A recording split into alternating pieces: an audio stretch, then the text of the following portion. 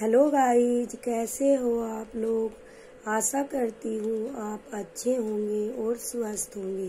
देखिए, मैं आज आपको केंद्र सरकार की योजनाएँ, योजनाओं के बारे में बताऊँगी, जो पेपर के पर्पज से इम्पोर्टेंट है। चाहे वो R O A R O का हो, या फिर एस्टेट का हो या फिर B P S C T R E three का टी आर ई फोर का। देखिए, योजनाएँ नमामि गंगे योजना, शुभारंभ। नमामि गंगे योजना की शुभारंभ 10 जुलाई 2014 को जल संसाधन मंत्रालय द्वारा हुई और इसका उद्देश्य है गंगा नदी के संरक्षण एवं शुद्धि हेतु। अगला क्वेश्चन अगली योजना देख लीजिए। प्रधानमंत्री जन धन योजना।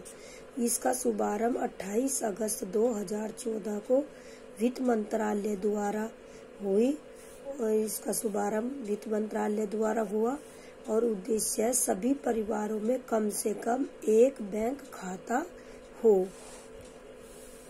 और देखिए 26 जुल 26 फरवरी 2020 तक अड़तीस दशमलव अठारह करोड़ खाते खोले जा चुके हैं। प्रधानमंत्री जनधन योजना में और लाभ दो लाख रुपए का दुर्घटना बीमा तथा तीस हज़ार रूपए का जीवन बीमा। अगली योजना देखिए make in make in India इस मैक इन इंडिया की शुरुआत 25 सितंबर 2014 को हुई। इसका उद्देश्य है देश में मैन्युफैक्चरिंग को बढ़ावा देना। अगली योजना देख लीजिए, सांसद आदर्श ग्राम योजना। इसका सांसद ग्राम, आदर्श ग्राम योजना की शुरुआत 11 अक्टूबर 2014 को हुई और जयप्रकाश नारायण के जन्मदिन जन्मदिन पर हुई और इसका उद्देश्य प्रत्येक सांसद द्वारा वर्ष 2019 तक तीन गाँव तथा वर्ष 2024 तक आठ गाँव को गोद लेकर विकसित करना है। अगली देखिए अभियान, मिशन इंद्रधनुष अभियान। इसकी शुरुआत 25 दिसंबर 2014 को केंद्रीय स्वास्थ्य मंत्रालय द्वारा हुई और इसका उद्देश्य है 2020 तक संपूर्ण टीकाकरण के लक्ष्य को प्राप्त करना।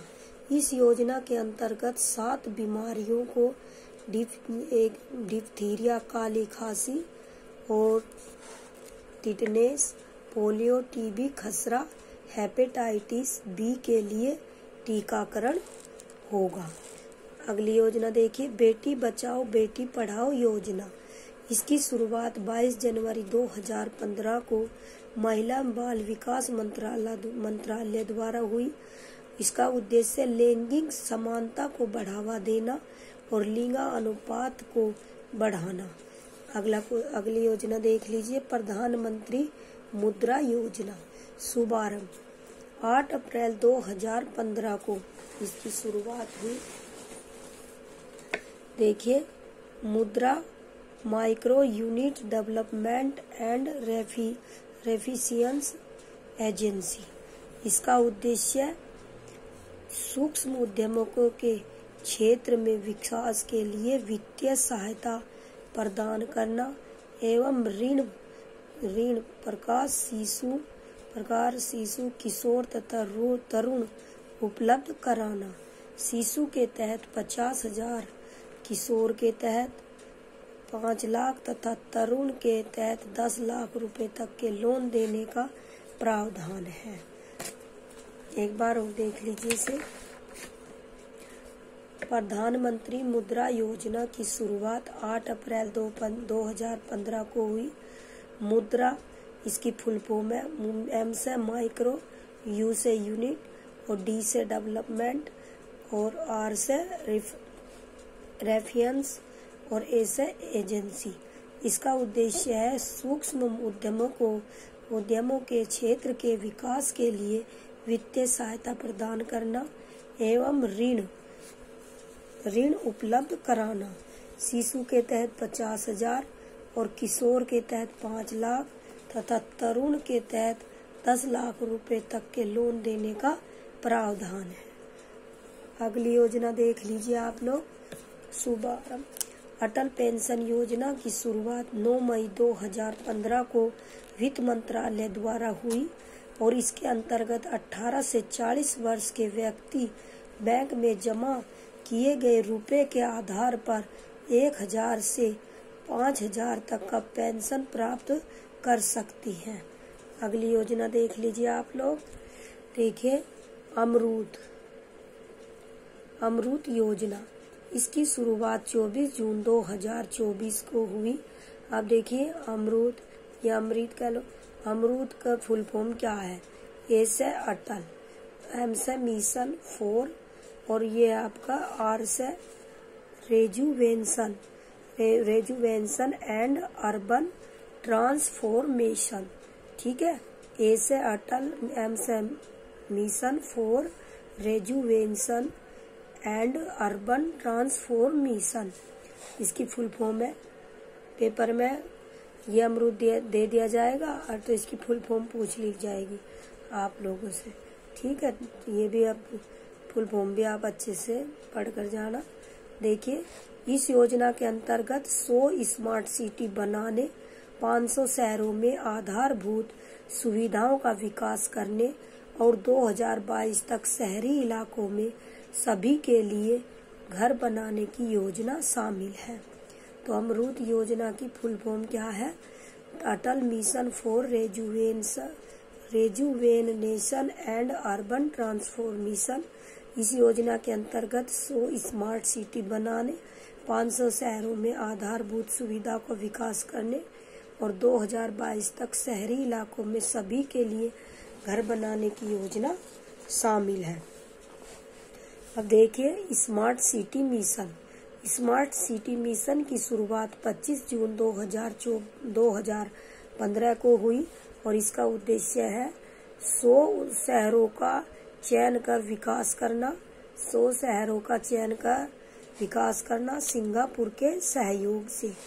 अगली योजना देखिए, प्रधानमंत्री आवास योजना की शुरुआत 25 जून 2015 को हुई और इसका उद्देश्य है 2022 तक दो करोड़ नए घरों का निर्माण करना।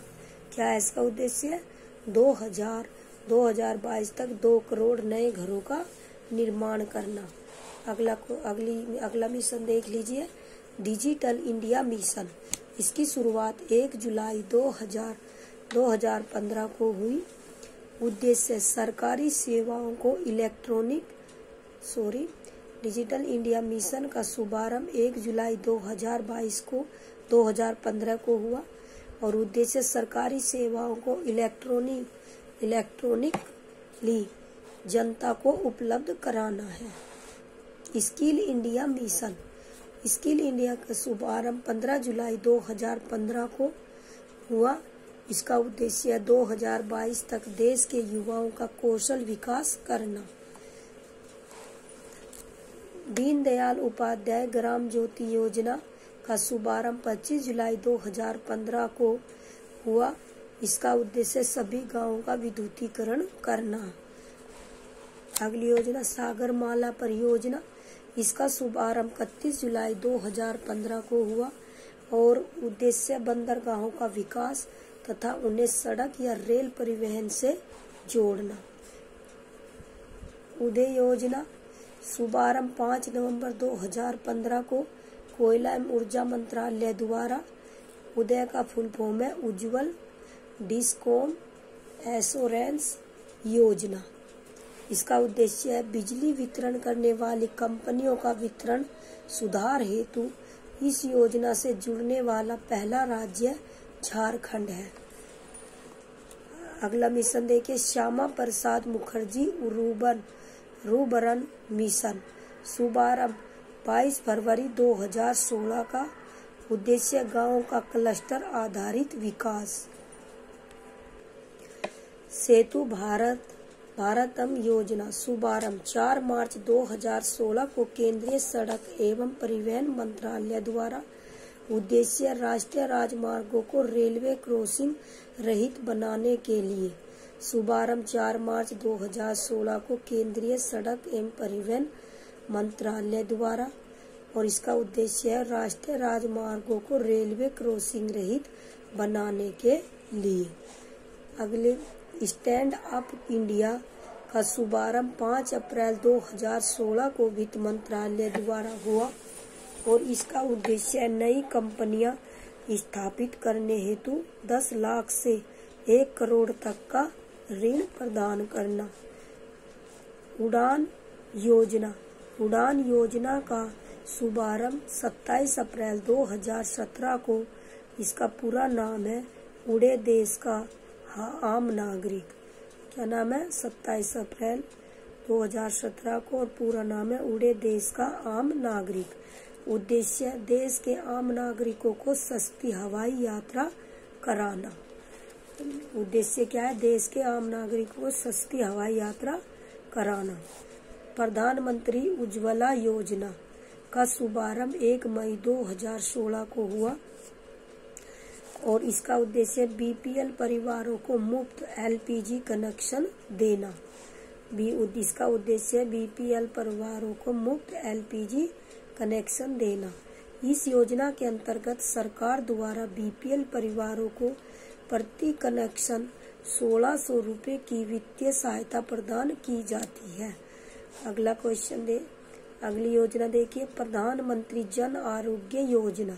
प्रधानमंत्री जन आरोग्य योजना है आयुष्मान भारत। प्रधानमंत्री जन आरोग्य योजना आयुष्मान भारत। इसका शुभारंभ 23 सितंबर 2018 को झारखंड की राजधानी रांची से हुआ और इसका उद्देश्य है गरीब परिवारों को पाँच लाख तक केस रहित स्वास्थ्य सुविधा सुविधा उपलब्ध कराना, वरिष्ठ पेंशन बीमा योजना का शुभ आरंभ एक जनवरी 2017 को भारतीय जीवन निगम एलआईसी द्वारा किया गया। और इसका उद्देश्य 60 वर्ष और इससे अधिक आयु वरिष्ठ नागरिकों को गारंटी कृत ब्याज दर 10 वर्षों के लिए 8 प्रतिशत होगी। एक बार और देखिए, वरिष्ठ पेंशन बीमा योजना का शुभारंभ एक जनवरी 2017 को भारतीय जीवन निगम एलआईसी द्वारा किया गया और इसका उद्देश्य 60 वर्ष और इससे अधिक आय वरिष्ठ नागरिकों को गारंटी कृत ब्याज दर 10 वर्षों के लिए 8 प्रतिशत होगी। अगला, दीनदयाल उपाध्याय स्पर्श स्पर्श योजना का शुभारंभ 3 नवंबर 2017 को हुआ हुआ। इसका स्पर्श की फुल फॉर्म है scholarship for promotion of aptitude and research research in stamp as a hobby. छठी व नौवीं के बच्चे, बच्चों की डाक टिकट संग्रह में रुचि हेतु छात्रवृत्ति योजना लाभ। अधिकतम 40 छात्रों को कुल छह हज़ार रूपए प्रति वर्ष की छात्रवृत्ति मिलना। अगली योजना देखिए, प्रधानमंत्री व्यय वंदना योजना। इसका शुभारंभ 21 जुलाई 2017 को और इसका उद्देश्य सोलह साठ या उससे अधिक आयु वर्ग के वरिष्ठ नागरिकों को मासिक पेंशन विकल्प चुनने पर 10 वर्षों हेतु 8 प्रतिशत की गारंटी शुदा रिटर्न। प्रधानमंत्री व्यय वंदना योजना का शुभारंभ 21 जुलाई 2017 को और इसका उद्देश्य 60 या उससे अधिक आयु वर्ग के वरिष्ठ नागरिकों को मासिक पेंशन विकल्प चुनने पर 10 वर्षों हेतु 8 प्रतिशत की गारंटी शुदा रिटर्न। प्रधानमंत्री सहज बिजली हर घर योजना सौभाग्य का शुभारंभ 25 सितंबर 2017 को विद्युत मंत्रालय द्वारा।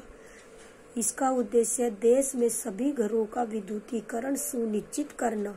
शुभारंभ। 25 सितंबर 2017 को विद्युत मंत्रालय द्वारा और उद्देश्य देश में सभी घरों का विद्युतीकरण सुनिश्चित करना। पीएम किसान सम्मान निधि योजना की शुरुआत 24 24 फरवरी 2019 को प्रधानमंत्री नरेंद्र मोदी द्वारा हुई और इसका उद्देश्य देश के सभी किसानों को छह हज़ार रूपए प्रत्यक्ष आय सहायता प्रदान करना। यह सहायता दो दो हज़ार रुपए की तीन समान किस्तों में दी जाएगी। अगली योजना देख लीजिए आप लोग। देखिए, प्रधानमंत्री श्रम योगी मानधन योजना का शुभारंभ बारह पंद्रह फरवरी 2019 को हुआ। योजना के पात्र आठ, चालीस वर्ष अठारह या चालीस वर्ष के असंगठित क्षेत्र के श्रमिक, जिनकी मासिक आय पंद्रह हज़ार रूपए या उससे कम है। अगला क्वेश्चन कम है? लाभ, साठ वर्ष की आयु होने वाले, होने पर तीन हज़ार रूपए की मासिक पेंशन, प्रधानमंत्री किसान मान धन योजना का शुभारंभ 12 सितंबर 12 सितंबर 2019 को रांची, झारखंड में हुआ और इसका लाभ है, लाभ 60 वर्ष की आयु होने पर न्यूनतम रुपया तीन हज़ार प्रति माह पेंशन मिलना, पात्र 18 से 40 वर्ष के किसान जिनके पास दो हेक्टेयर ज़मीन है। अगली योजना देख लीजिए आप लोग, अग्निपथ योजना, इसकी घोषणा इस योजना की घोषणा चार चार, चौदह जून 2022 को हुई। योग्यता बारहवीं या दसवीं या बारहवीं पास सत्रह दशमलव पाँच से इक्कीस या तेईस वर्ष। इस योजना के तहत योजना, युवाओं को चार साल के लिए तीनों सेनाओं, थल, जल, वायु में भर्ती किया जाएगा, जिन्हें अग्निवीर कहा जाएगा। चार साल पर अग्निवीरों को सेवा निधि पैकेज के तहत ग्यारह दशमलव इकतीस लाख रुपए का भुगतान किया जाएगा। सेवा समाप्ति पर अग्निवीरों को सी ए पी एफ़ एवं असम राइफल में 10 प्रतिशत आरक्षण दिया जाएगा। साथ ही मेरिट के आधार पर 25 प्रतिशत अग्निवीरों का चयन स्थायी रूप से किया जाएगा। अगली योजना देख लीजिए आप लोग। पीएम विश्वकर्मा योजना। पीएम विश्वकर्मा योजना का शुभारंभ 17 सितंबर 2023 को नई दिल्ली में हुआ। उद्देश्य पारंपरिक शिल्पकारों और कारीगरों के 30 लाख परिवारों को बिना गारंटी के न्यूनतम ब्याज दर पर ऋण मुहैया कराना है। इसके लिए तेरह हज़ार करोड़ रुपए का बजट प्रावधान किया गया है। इसके तहत 18 पारंपरिक व्यवसायों को शामिल किया गया है। अगली योजना देखिए, पीएम जनमन योजना। इसका शुभारंभ 15 नवंबर 2023 को पीएम मोदी द्वारा झारखंड से हुआ है। प्रधानमंत्री जनजाति आदिवासी न्याय महाअभियान पीएम जनमन का उद्देश्य विशेष रूप से कमज़ोर जनजातीय समूह की सामाजिक, आर्थिक स्थितियों में सुधार करना है। यह योजना नौ मंत्रालयों के माध्यम से 11 महत्वपूर्ण कार्यों पर ध्यान केंद्रित करता है। अवधि 2023-24 24 से 2025-26 केंद्र